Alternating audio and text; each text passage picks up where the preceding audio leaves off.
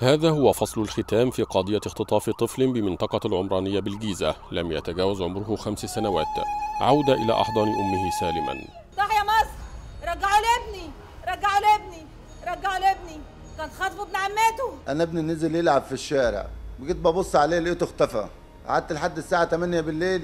جالي لي تليفون بيتصل بيا بيقول لي الأمانة اللي ضاعت منك ما تدورش عليها ما تخافش عليها دي معايا. مئة ألف جنيه. دفعت ابن عمة الطفل إلى اختطافه مشاركة مع أخيه وبائع متجول حيث قاموا بمساومة والد الطفل على دفع المبلغ نظير إطلاق سراحه. أول ما جيت اتصلت على مصطفى واتصلت على عصام.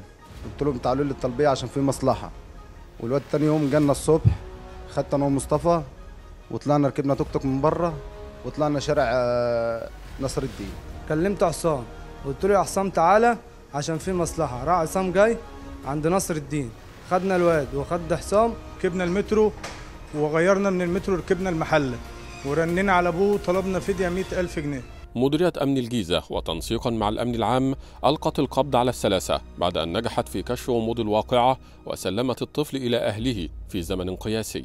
في أقل من 24 ساعة تم تحديد هوية الجناه وتم ضبط أحدهما في منطقة العمرانية.